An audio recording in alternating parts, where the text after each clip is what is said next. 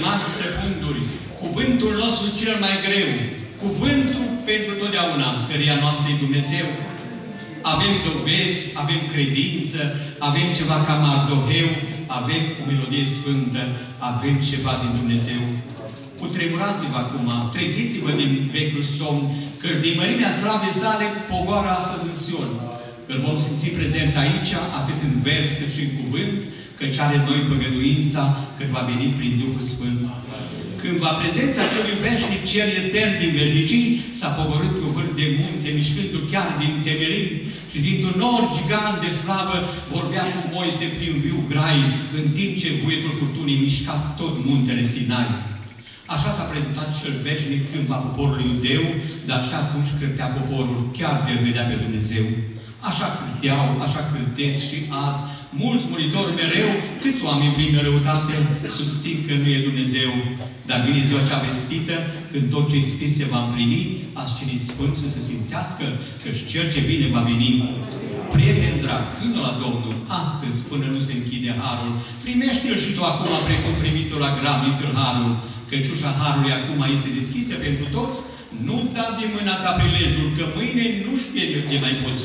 Acum e har, dar iată bestia de cei ce spuși ca să vedeze, ce au străjere din semnale pe înălțim de vetereze, se aud cuvinte ce anunță plecarea harului de jos, se aud cântări care pronunță chemarea la Iisus Hristos. Și aceia ce resping atâția sunt și fug de noi și ne acuză, dar în ziua judecății abia pe care va scuză, Câți plutesc în valul vieții ca un ful pierdut în sferă, biciuind sfânta credință ca și când a primeră, câți privesc cu ignorare și acuză pocăința și hulesc divinătatea, veșnicia și credința, dar în zadare tot hulesc, căci cu câte ne acuze, cu atât ne înțeles. Noi cu stat am ce viața și noi știm ce pe pământ, vrem acum ceva mai nobil, vrem ceva etern și sfânt.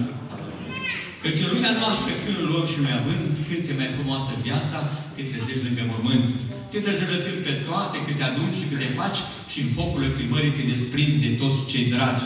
Atunci, unde ți este slava? Unde ți este viitorul?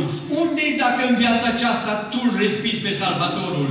Nu uita că și ai prilejul prin salvarea pus în față ca ziua veșniciei să ai pururea viață. Noi pentru această viață ne zbatem și tânjim, chiar de-am fi jertfiți pe ruguri, dar noi vrem să o, să o, să o moștenim. Cu Isus e denul slavei, cu Isus din veșnicii, chiar de-am trece toți prin moarte, dar în suflet să fim vii. Fiecare cât de dură care duce spre acest trai, cu Isus putea totul, cu Isus e veșnic rai. Frați, surori, părtași crucii, fie bine, fie rău, nu uitați că ria noastră este numai Dumnezeu.